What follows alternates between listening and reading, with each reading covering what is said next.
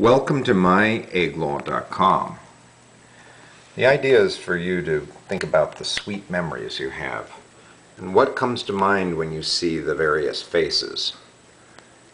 When you open up your yearbook, who do you think about? What memories come to your mind when you see these different faces? If you'd like to see some other writings, you can go to johncorlett.com and see this guy's writings. And it should be fun. So I hope that you will be thinking about these people.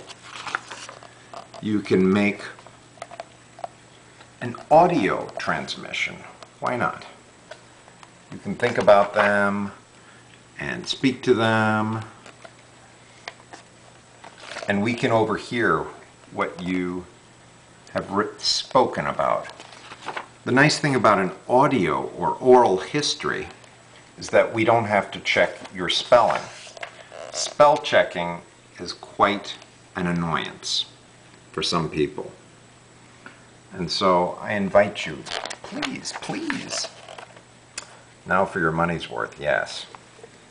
If you can't make it to the mountain, let your voice go there for you.